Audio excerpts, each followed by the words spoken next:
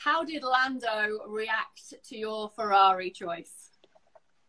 So, exactly how he reacted, he commented in my post where I said a goodbye video to McLaren, uh, thanking McLaren. He commented specifically "soy lago," which in Spanish means "I'm a lake." So, at first, I didn't understand why this guy comments on such an emotional post saying "I'm a lake," and I was a bit confused.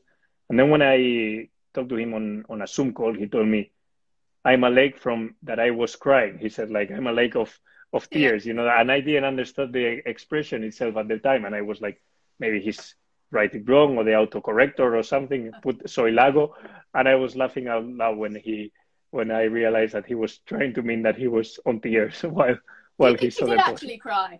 Have you nah, seen him nah. in tears?